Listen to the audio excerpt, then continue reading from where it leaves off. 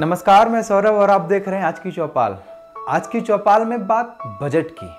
Budget पेश करने का दिन आने वाला है और खबरों में बजट ही बजट छाने वाला है। इसलिए आज इस एपिसोड में हम आपको बजट से रिलेटेड वो सारे तथ्य समझाएँगे जो खबरों में हैं। लेकिन सबसे पहले ये जान लीजिए कि बजट की खबरों में आज नया क्या है। मोदी सरकार एक फरवरी को अंतरिम बजट पेश करेगी। यह मोदी सरकार का लगातार छठा केंद्रीय बजट होगा। इस बार वे पूर्ण बजट की जगह अंतरिम बजट पेश करेंगे। अभी तक तो बजट में यही खबर आ रही थी, लेकिन अब खबर इसके उलट आ रही है। नहीं समझे? तो जान लीजिए कि सूत्रों ने बताया है कि इस बार मोदी सरकार अंतरिम बजट नहीं, बल्कि पूर्ण बजट पेश करेगी। और इससे पहले की खबर को जाने। आपके लिए यह जानना बहुत ज़रूरी है, अंतरिम बजट क्या है और पूर्ण बजट क्या है। आप आए दिन सुनते हैं कि इस साल का बजट क्या है? तो पहले जानिए कि बजट क्या है। संविधान में बजट शब्द का ज़िक्र नहीं है।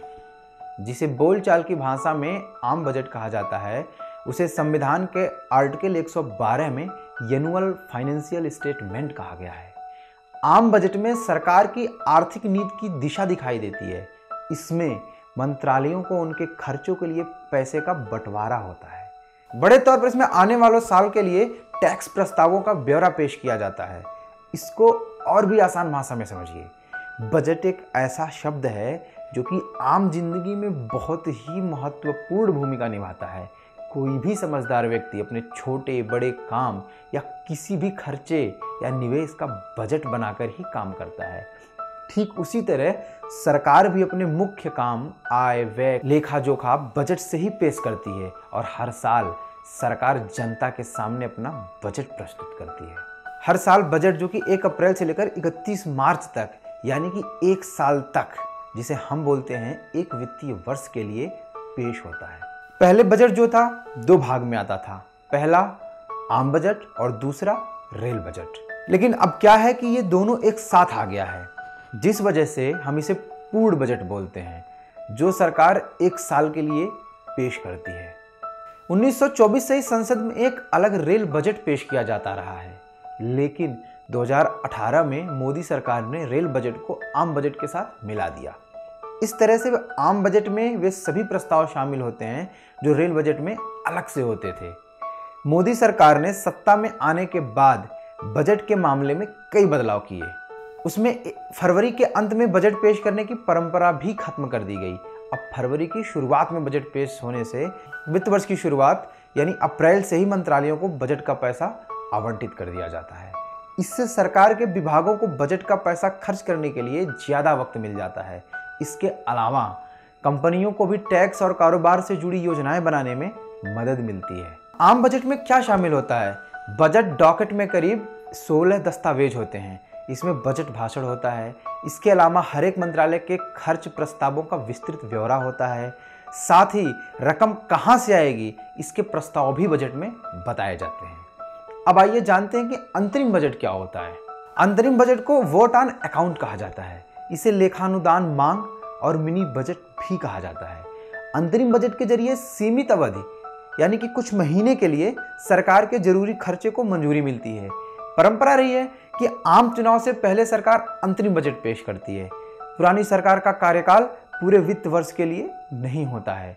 इसलिए अंतरिम बजट कुछ महीने के लिए पेश किया जाता है। हालाँकि ये बस परंपरा है। ऐसा कोई नियम नहीं है कि चुनाव से पहले सरकार पूर्ण बजट पेश नहीं कर सकती। हाँ भले ही चुनाव के बाद आने वाली सरकार बदलाव कर सकती है।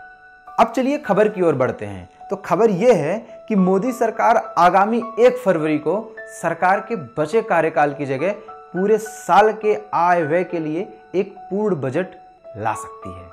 इस खबर से कांग्रेस में हलचल है।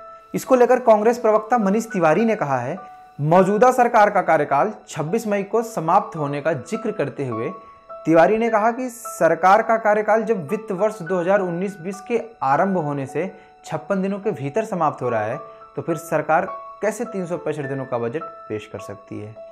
पाँच साल के लिए चुनकर आई सरकार छह पूर्ण बजट पेश नहीं कर सकती। ऐसा हुआ तो संसद के भीतर और बाहर कांग्रेस विरोध करेगी। वहीं बीजेपी नेताओं का जवाब है कि कांग्रेस की सरकार पहले इस परंपरा का उल्लंघन कर चुकी है। इसलिए वह भाजपा को इस बारे में शिक्षा न दें। भाजपा नेताओं के अनुसार लेखानुदान किसी पूर्ण बजट की तरह ही होता है और सरकार को किसानों, ग्रामीणों और मध्य वर्ग के लिए रियायत देने की घोषणा से पीछे नहीं हटना चाहिए। लेकिन अभी तक सरकार की तरफ़ से यह साफ़ नहीं किया गया है कि आगामी बजट पूर्ण बजट होगा या अंतरिम बजट। हालाँकि बीते दिनों वित्त मंत्री अरुण जेटली ने कहा था कि अंतरिम बजट वोट ऑफ़ अकाउंट से बढ़कर होगा। सूत्रों के अनुसार इस बार के बजट में मोदी सरकार मिडिल क्लास को लुभाने के लिए इनकम टैक्स लाभ देने की घोषणा कर सकती है।